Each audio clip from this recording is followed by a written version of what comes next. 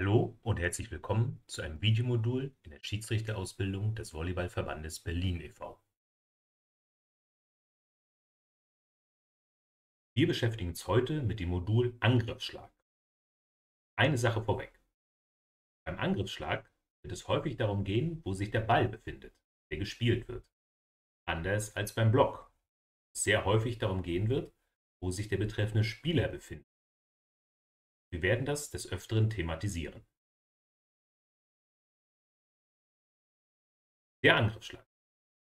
Alle Aktionen, bei denen der Ball in Richtung des Gegners gespielt wird, ausgenommen Aufschlag und Block, gelten als Angriffsschläge.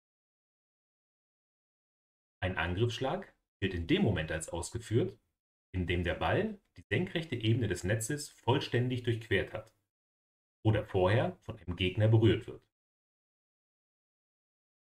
In diesem Video sehen wir den Hinterfeldangriff eines Spielers im weißen Trikot. Dies gilt ebenso als Angriffsschlag wie der Kopfball des Spielers im roten Trikot.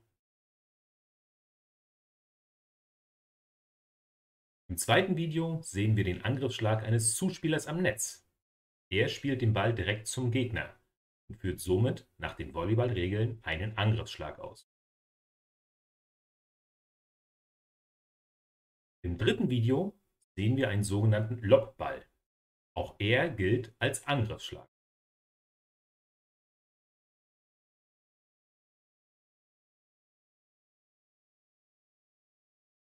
Bei einem Angriffsschlag sind Lobbälle nur dann erlaubt, wenn der Ball sauber gespielt und nicht gefangen oder geworfen wird. Dies folgt den allgemeinen Regeln zum Spielen des Balles. Der Kontakt mit dem Ball muss kurz sein und der Spielball muss vom genutzten Körperteil zurückprallen. Hier sehen wir, wie der Spieler im weißen Trikot den Ball fängt, ihm eine Richtungsänderung gibt und ihn gegen den Blockspieler im blauen Trikot wirft. Dies ist nicht mehr regelgerecht. Es handelt sich um einen Fehler beim Spielen des Balles.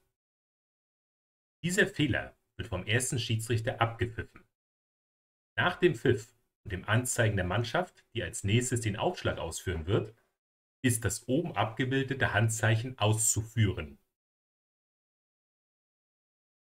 Auch hier sehen wir einen gefangenen und geworfenen Ball. In diesem Fall vom Spieler im weiß-blauen Trikot. Es handelt sich auch hier um einen Fehler beim Spielen des Balles. Dieser Fehler wird vom ersten Schiedsrichter abgepfiffen. Nach dem Pfiff und dem Anzeigen der Mannschaft, die als nächstes den Aufschlag ausführen wird, das oben abgebildete Handzeichen auszuführen. Ist auf der Seite auszuführen, der der Fehler begangen wurde, also mit dem rechten oder dem linken Arm.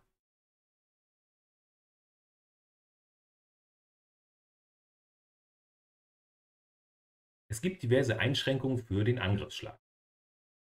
Kein Spieler darf direkt nach dem Aufschlag des Gegners einen Angriffsschlag ausführen, wenn sich der Ball dabei in der Vorderzone und vollständig oberhalb der Netzoberkante befindet.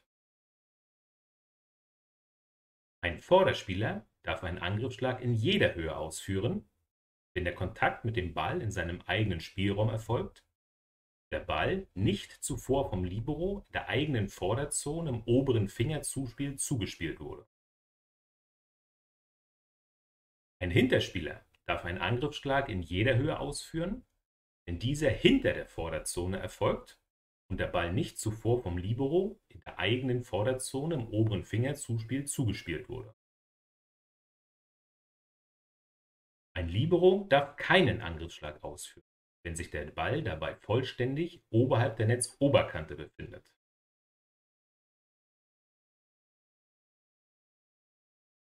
Kommen wir nun zum regelgerechten Angriffsschlag eines Hinterspielers.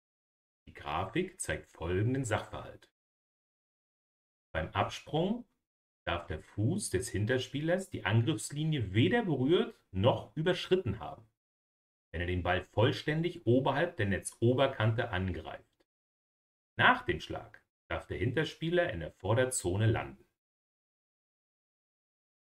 Ein Angriffsschlag wird in dem Moment als ausgeführt, dem der Ball die senkrechte Ebene des Netzes vollständig durchquert hat oder vorher von einem Gegner berührt.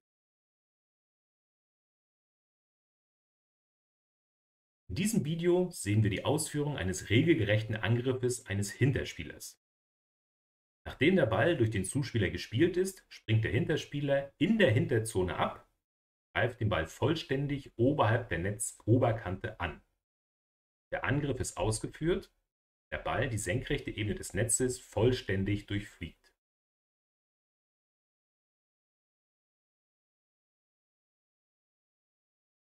Was ist der fehlerhafte Angriff eines Hinterspielers? Der Angriff des Hinterspielers ist erst dann fehlerhaft, wenn er die Angriffslinie B oder übertreten hat, den Ball vollständig oberhalb der Netzoberkante angreift und der Ball die senkrechte Ebene des Netzes vollständig durchquert hat, vorher von einem Gegner berührt.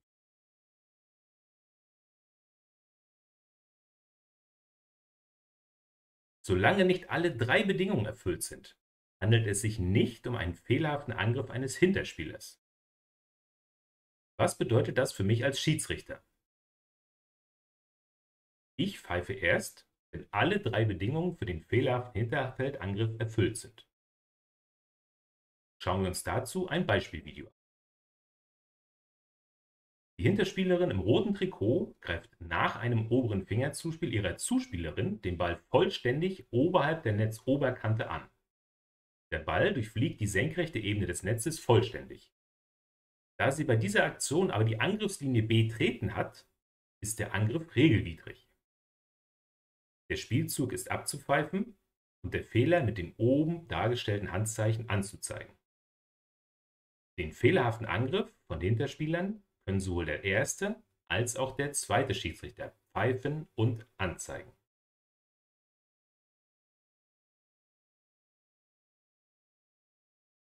Kommen wir nun zu einer weiteren Alternative.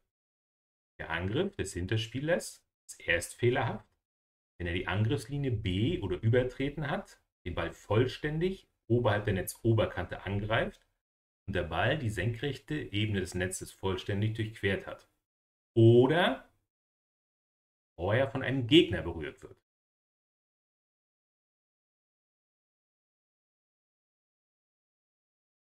Auch hier gilt, der Angriff wird erst fehlerhaft, wenn alle benannten Merkmale vorliegen. Das bedeutet auch hier, dass ich als Schiedsrichter erst pfeife, wenn alle drei Bedingungen für den fehlerhaften Hinterfeldangriff erfüllt sind. Schauen wir uns dazu ein Beispielvideo an. Der Hinterspieler im blauen Trikot greift den Ball nach dem Pass seines Zuspielers so an, dass er die Angriffslinie betritt, den Ball vollständig oberhalb der Netzoberkante schlägt und der Ball den gegnerischen Block trifft. Bei der Blockberührung des Balles pfeift der zweite Schiedsrichter, begibt sich auf die Seite der Mannschaft, die den Fehler begangen hat, und zeigt das Schiedsrichterhandzeichen für den begangenen Fehler an. Schauen wir uns das verwendete Schiedsrichterhandzeichen genauer an. Es heißt Fehler beim Angriffsschlag und ist unter anderem in den zwei zuvor genannten Situationen anzuwenden. Dabei wird nach dem Pfiff und dem Anzeigen der Mannschaft, die als nächstes aufschlagen wird, im Unterarm eine Bewegung von oben nach unten ausgeführt.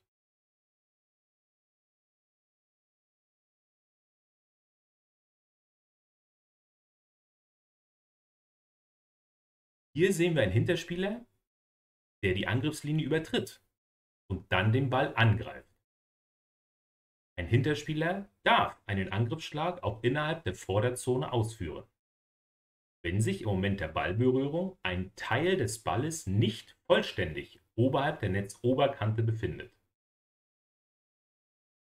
Dabei ist es unerheblich, ob der Spieler springt oder nicht. Beim Spielen des Balles einzig auf die Position des Balles im Verhältnis zur Netzoberkante an.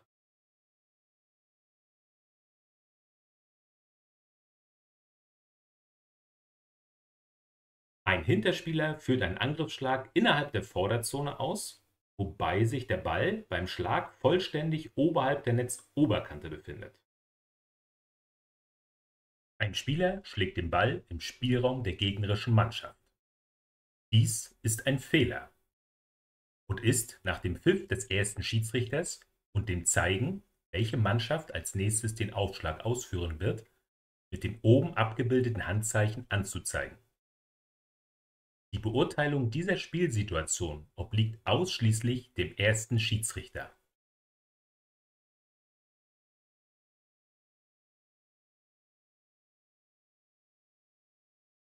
Ein Libero führt einen Angriffsschlag aus, wobei sich der Ball beim Schlag vollständig oberhalb der Netzoberkante befindet.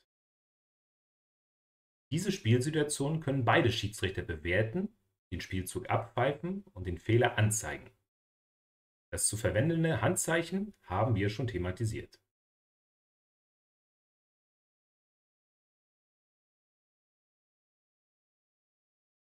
Ein Spieler führt nach dem oberen Fingerzuspiel des in der eigenen Vorderzone befindlichen Liberos einen Angriffsschlag aus, weil sich der Ball beim Schlag vollständig oberhalb der Netzoberkante befindet.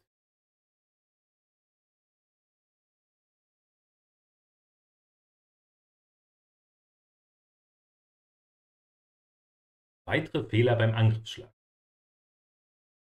Ein Spieler führt einen Angriffsschlag direkt nach dem Aufschlag des Gegners aus, wobei sich der Ball in der Vorderzone und vollständig oberhalb der Netzoberkante befindet. Der Kontakt des Angreifers mit dem Netz zwischen den Antennen oder den Antennen selbst in einer Spielaktion ist ein Fehler. Im Video sehen wir den Kontakt des Angreifers im orangenen Trikot mit dem Netz innerhalb der Spielaktion. Obwohl fehlerhafte Netzberührungen auf der Angriffsseite vornehmlich durch den ersten Schiedsrichter zu ahnden sind, kann, wie hier zu sehen, auch der zweite Schiedsrichter diesen Fehler pfeifen und anzeigen.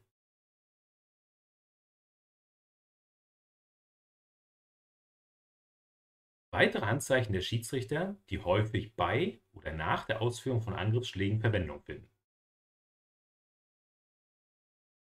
Die Doppelberührung. Ein Spieler greift den Ball so an, dass er ins Netz fliegt.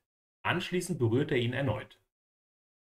Oder Doppelberührung in der zweiten bzw. dritten Berührung einer Mannschaft durch einen Spieler selbst.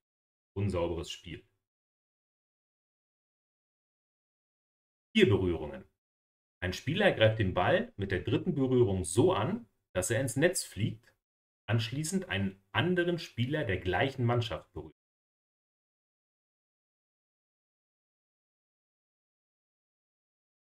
Ball berührt. Der Angriffsschlag wird gegen den Block gespielt. Der Ball fällt in die Freizone der Mannschaft des Blockspielers. Oder ein Spieler spielt den Ball an die Hallendecke auf der Seite der eigenen Mannschaft.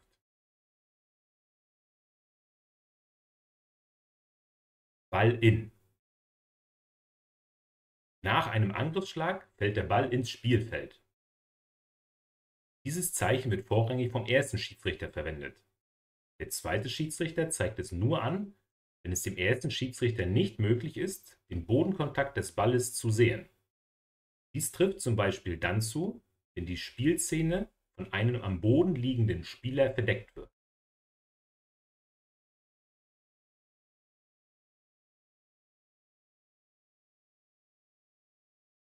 Ball aus.